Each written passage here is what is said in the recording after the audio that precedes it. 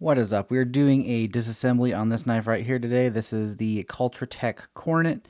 And honestly, it doesn't really need it at all. It's pretty much perfect. It's just, I'm kind of curious just to see the inside of it. And um, should be pretty cool to see. So let's go ahead and disassemble this guy. We have a T8 screw and we have a proprietary pivot. But they do actually include the pivot tool and I already kind of tried to loosen this beforehand and it's quite tight but it is actually tooled for some sort of hex so um, I'm kind of hoping I'll be able to get it with this and we'll see but um, let's kind of pop it on there.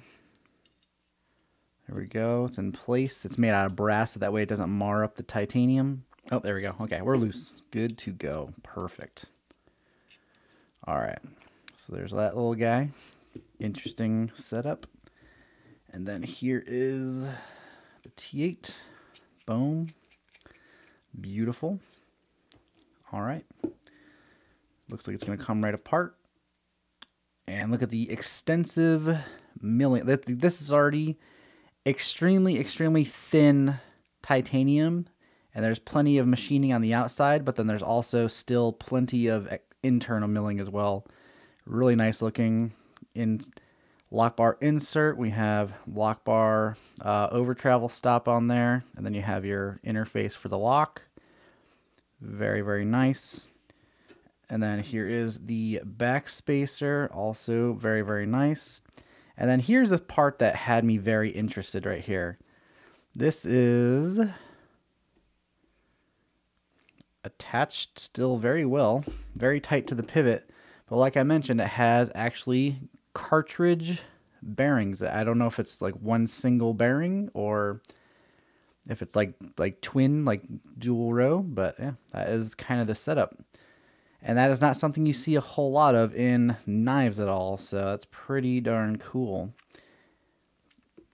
And then here's your stop pin right there. It's actually hollow stop pin, so I guess maybe it reduces as much weight as possible because even though this knife is pretty darn close to being a four inch blade, it's actually pretty lightweight still. So very, very cool.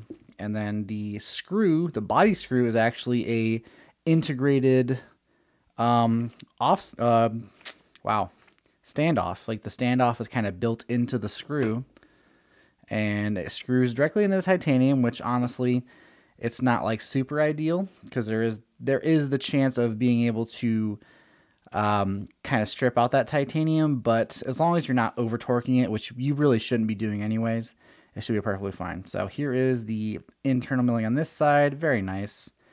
And here is the pivot. So pretty simple setup really.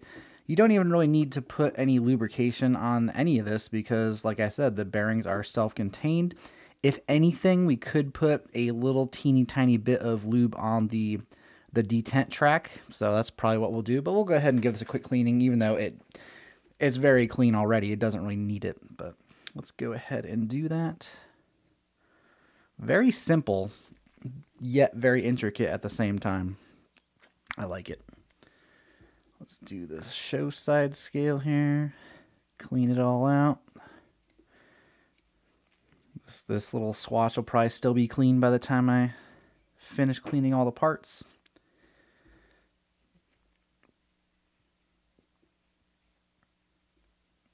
But yeah, and then of course there's like a little, the like the little pin locator pin for the backspacer is actually part of the show side scale. So very like minimal in the tiny parts and whatnot. So yeah, it kind of just blocks right in there. Pretty cool. I dig it. I am all about simplicity personally. So, and then it also has one on this side as well. Very cool. I like it. I'm into it.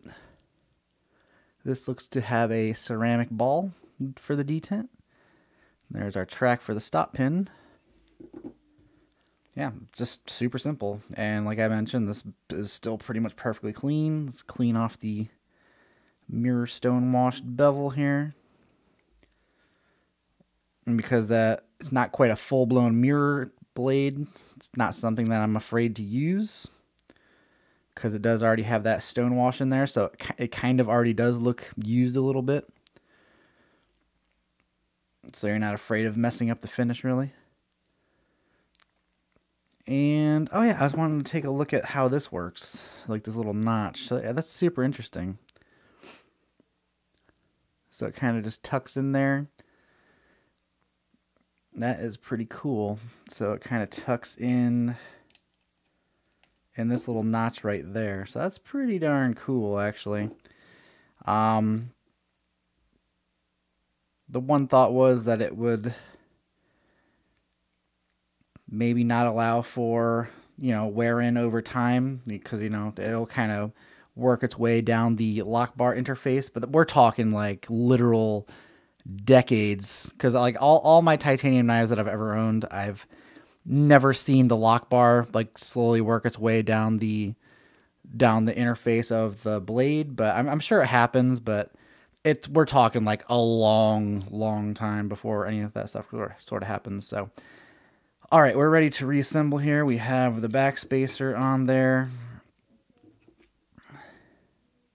Backspacer, set that on there. Put the blade on there. There's no need for lubrication at all. Got to kind of very carefully. There we go. I'm into that setup. That's very cool.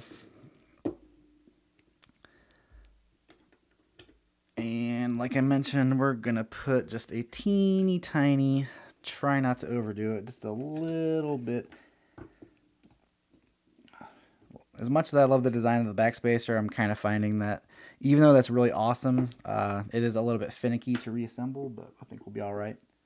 So we'll just kind of right here in the middle of the track, we'll kind of just put a little, little bit right there even though I believe ceramic is actually a self lubricating material, there's really no need to have lube on a ceramic ball, but um, you know, whatever, it'll be fine. so there we go. Put the backspacer back on and put the show side scale on. There we go. And just to kind of hold it all together, let's pop that in there. So I'm not about to wrestle with that backspacer. So we'll kind of just, you know, get it most of the way there. Not going to quite tighten it down yet. And we'll kind of slip this guy on here. And then because this is cartridge style bearing, honestly, there's almost no way to really over tighten it. So because it will stop at that the the outer race portion. So just I'll give it a quick little nice firm snug on there and then we will we're dead center as you'd expect and try I, I I'm sure I've been kind of holding it off the screen a little bit I've, I've I'm trying to be good about it but sometimes it's hard to avoid so and then we'll snug that down. So that is pretty much it. Super simple. Drop shutty as ever. Dead center.